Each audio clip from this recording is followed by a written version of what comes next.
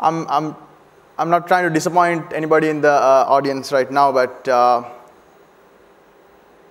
so uh, the talk is not about microservices, if you are uh, thinking about that. So um, I'm not going to talk about the characteristics of microservices uh, or like, you know, uh, if you go to uh, Martin Fowler's definition of microservices, you know, um, it's, it's, not, it's not a project, it's, it's a product, uh, dumb pipes and smart endpoints, decentralized uh, governance, decentralized data planes.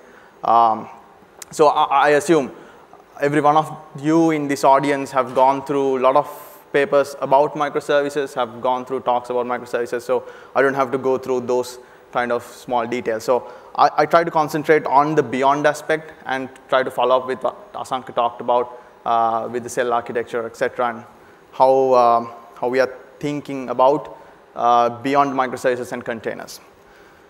And I'm not talking, not going to talk about containers as well, right? So uh, when I talked with some customers, uh, where I'm not saying this is wrong or uh, this is the right way to do it, but some people start with, you know, a, a, a term that I hear very often is lift and shift, right? So we, I have a monolith today. Let's just lift it and shift it to a container. Um, I, don't necessarily agree with that pattern where you just take a big old application and just put, uh, put a wrapper container around it and deploy it in Kubernetes. So you know, OpenShift or uh, in a container orchestration platform. So there are good ways of doing it. There are enough resources around uh, that, that discusses uh, how to do those things, etc. Um, so yeah, so um, let's, let's talk about those things first. But first of all, I want to take a minute and appreciate the history. Um, so, so if, if you are looking at the slide uh, in 1974, uh, we, we got the understanding of internet and how it works. And uh, in 85, we understood how TCP IP works, right? And by 92, there was something called World Wide Web, and Tim Berners-Lee talked about HTTP, etc. In 93, there's a browser, one web browser called Mosaic. And awesomely, surprisingly, 94, there was a pizza uh, application or pizza website selling pizza uh, on the web, right? So, um, so that's how things came into being. So if you, if you just uh, take a quick look at um, of that past, where we are coming from, um, there were no services. Before all this microservice stuff, there were no services at all. Some random code or some functions running in a mainframe. After my talk, Amila is going to talk about ser serverless architecture, etc., etc you might find some similarity of those days in those architecture, but of course in improved manner. Then, uh, then we came to RPC uh, age, CORBA, DCOM, those kind of uh, technologies. Uh, the main problem there was the, the, the, technology inventors ignored the fallacies of distributed computing. So if you, if you know those uh, seven attributes of fallacies of distributed computing, you know, let's just, you know, forgetting about the distributed nature of the systems and just try to program the distributed computing platform as a local computer, and that is the main uh, problem, right? So there, there, uh, even, even before, uh, before two systems get connected, there can be a uh, scenario where the message never delivers to the end platform, where there will uh, be a scenario where the network is not available. So those kind of things were not uh, captured in uh, those old technologies. Then there was service-oriented architecture, and we uh, today we use um, we see a lot of service-oriented implementations, and it is great.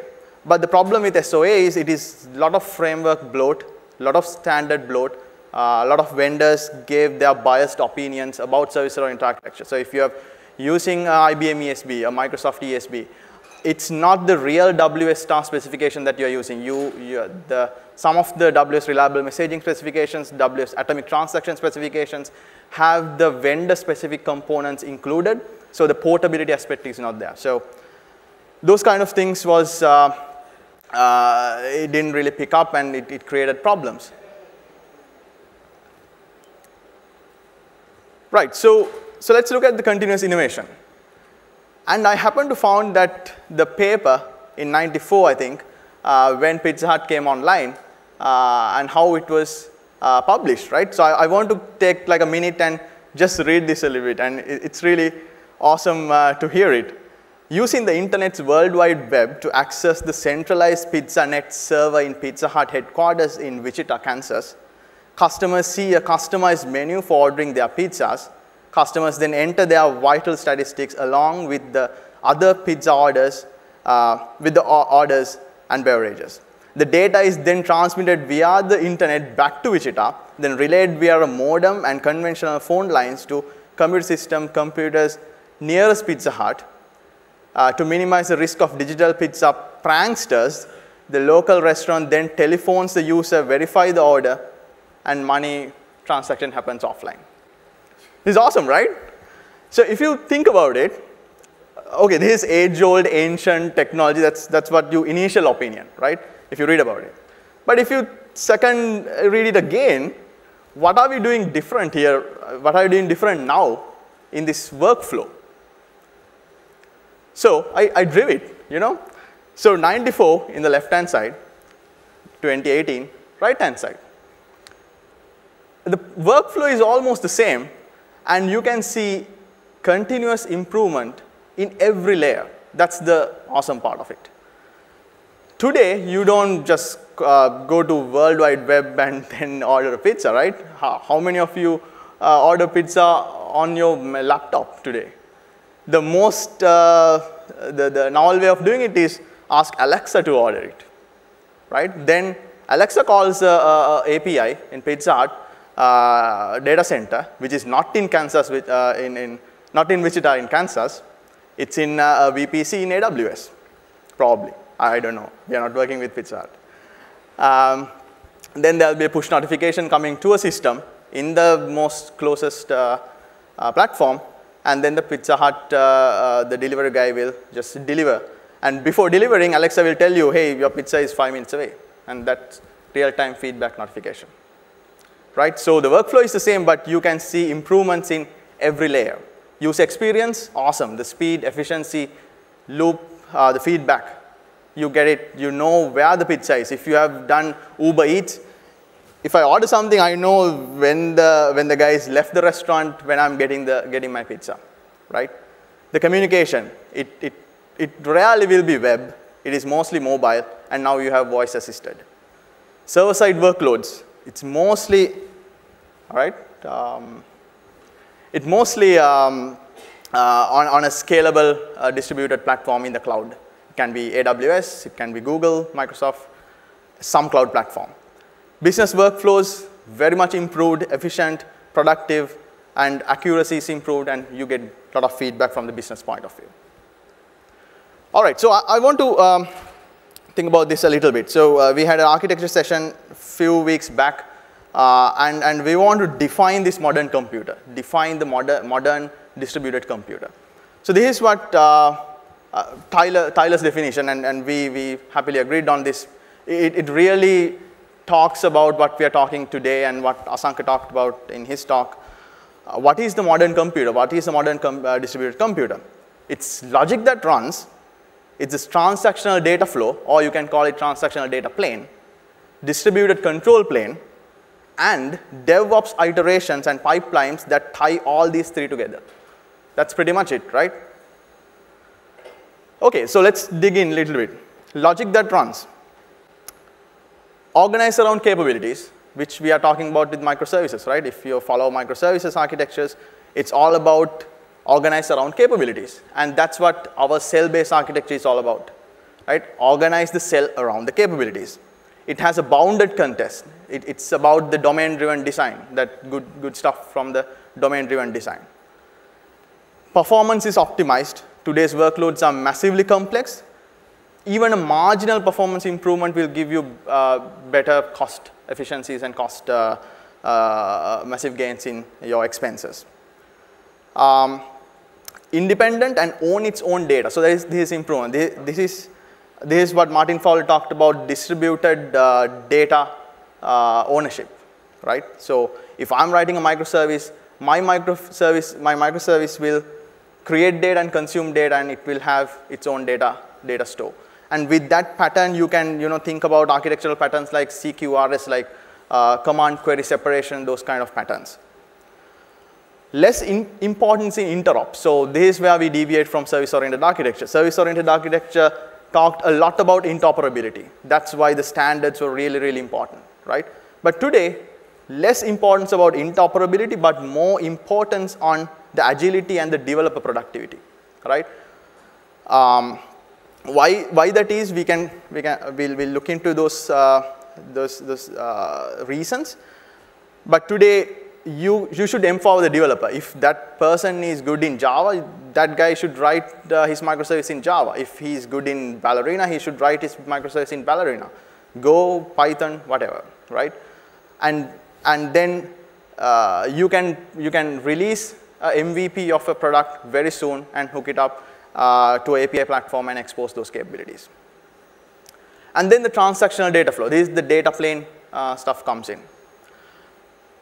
Today with microservices, we try to make things more reactive, more event driven. So this is where things deviate from an ESB, right? When, when it comes to ESBs, ESB is all about centralized control, right? You put a ESB platform or ESB cluster in the middle, and you do all your orchestration inside the ESB. And that is a central piece of middleware that connects to a bunch of services, and ESB is intelligent it knows how to orchestrate, it knows how to talk to this service, get the response, talk to another one, and get the response. But today we try to make um, that more event-driven as possible, and that's what uh, the dumb pipe concept is about. Make the pipe so dumb, make the endpoints intelligent. But if you step back and think about it, is it realistic?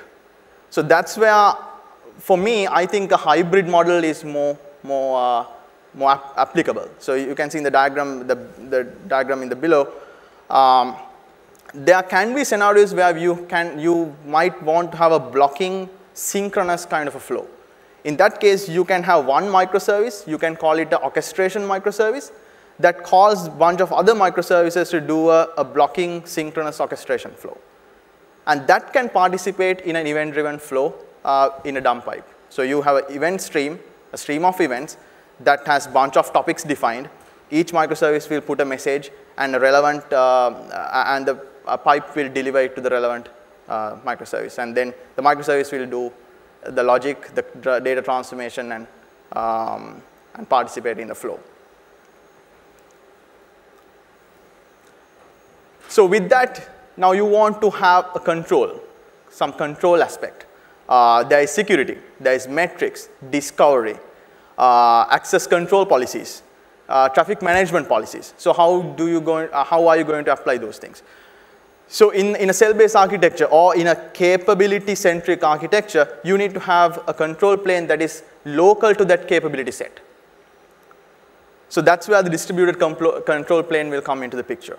Emphasis on distributed governance.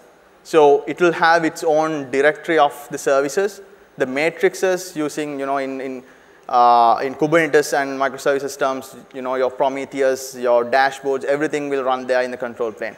And you will define your policies, your ACLs, and inject into your local gateways, uh, which is inside the same pod in, the, uh, in a Kubernetes architecture. So this is a high-level view, but you can apply the reference implementations into a Kubernetes-based platform.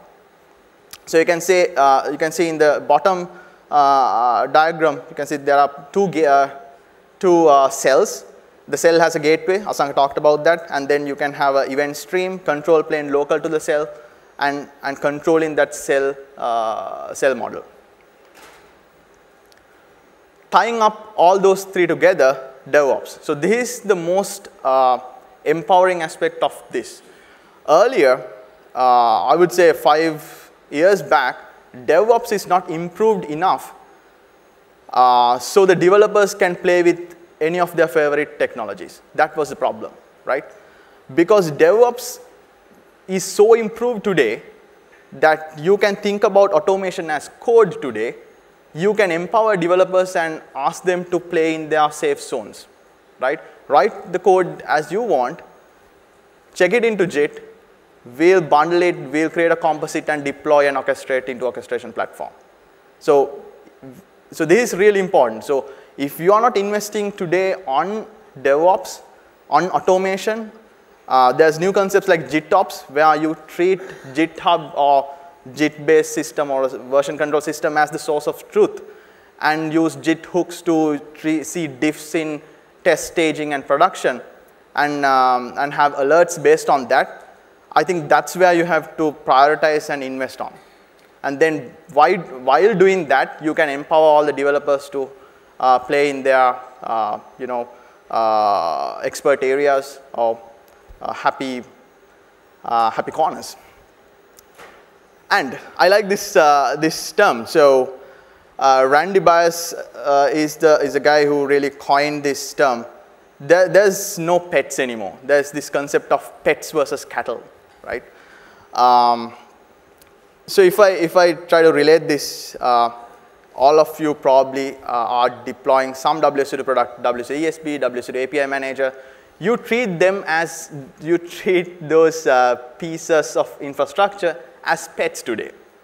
That's why if, if the gateway goes down, you call WSO2 and we try to solve this, solve the problem, etc. You love that piece of technology. You don't want that piece of technology to go down.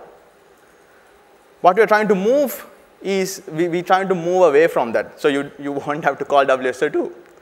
Uh, not, not, not the point. So you see, you'll still call WSO2, but the, the thing is, if, the, if a ESB node, if a micro ESB node or, or a, a container node or a local gateway node goes down, you should not care about it, right? It, it, that's why we, we correlate that to a cattle. You have heard of cattle, like herd of cows. And if one cow is not producing enough milk, you just replace that cow, right? So you treat your infrastructure as cattle today, not as pets. So that's the whole point. Right. So we, we, we, are talking, we talked about how you use microservices and how you use containers in a real world implementation and how you should treat about this modern computer, how you should think about this modern computer. Let's think a little bit about the beyond stuff. Future is mostly going to be code, compute, and storage. That's what, that's where the world is heading towards. There, there, there is no, uh, you know, low code scenarios to handle complex problems. If you're, if you're dealing complex integration scenarios, complex problem solving, then it will be just code, compute, and storage. You can do today with all that custom code and custom uh, code for mediation because you have improved DevOps processes. That's why the emphasis on DevOps. When I talk to some customers, um, uh, they, what they usually say when, when they explain their deployment, what they say is, hey, we do a lot of mediation stuff with custom code. That's where the world is heading in the future as well. The thing is, the custom code today is very scary, but the custom code in the future will not be that scary because you have enough observability, you have enough automation, uh, so you are very comfortable with that orchestration in code. Logic transaction workflows will be just code. So the, the orchestration that you do, the logic you write anyway in code, workflows you do is mostly event-driven and, and reactive. They will be in code and you will do a lot of stream processing, checking out uh, from a stream, uh, picking out from a topic, etc. So Asanka talked about this in a very high level. Um, so this is a shift towards a, a, a, very flat kind of a view of, of a distributed system. Earlier, if you are uh, you know, designing a platform, you are thinking about a data services layer, then an integrations layer, then an API layer, then a presentation layer. But if you are developing a platform today, you are just thinking about capabilities. That's pretty much it. You will have some data services, you will have some business services, you'll have some workflow services, some statistic services. They are not layered. They are in a, um, in a bounded context, which is a business domain. And that's what we are calling as a cell. And you can deploy it as a Kubernetes namespace, or you can relate it to some kind of a reference implementation. Um, so yeah, so that's a, a shift from how you are thinking about the world. And you we are going back to a distributed global supercomputer. So this is like, this is like a, a, a super mainframe, right? So earlier you had a mainframe in your company and you wrote functions into that computer. you, and that computer ran it. But today, this distributed global supercomputer is in AWS or in Google or in Azure or maybe another cloud giant will come and create another platform, right? But, but, but I don't see that organizations will own infrastructure anymore. The computer will be there in the cloud. The infrastructure is there. You just lease the compute and the storage. And then you write code on top of that. You, your build pipelines will run on top of that. Um, yeah, and, and uh, security, privacy, compliance, all those GDPR, HIPAA stuff will be provided in that platform. Uh, developers will deploy code to a global supercomputer, and that's what serverless is about. Um, and you just lease computing. All right, so um, that brings us to the summary. Um, so we took a moment to appreciate the history. We, we, we checked the innovation at every layer. We, we looked at the modern computing system and the definition of it, how we see it. Um, and, and we talked about this pet versus cattle analogy. There's no special infrastructure. And the centralized layered deployment architecture is retiring slowly, and compute and storage is leased, and code is pushed to a distributed supercomputer. Um, yeah, so that's, uh, that's what I want to talk about. Any questions?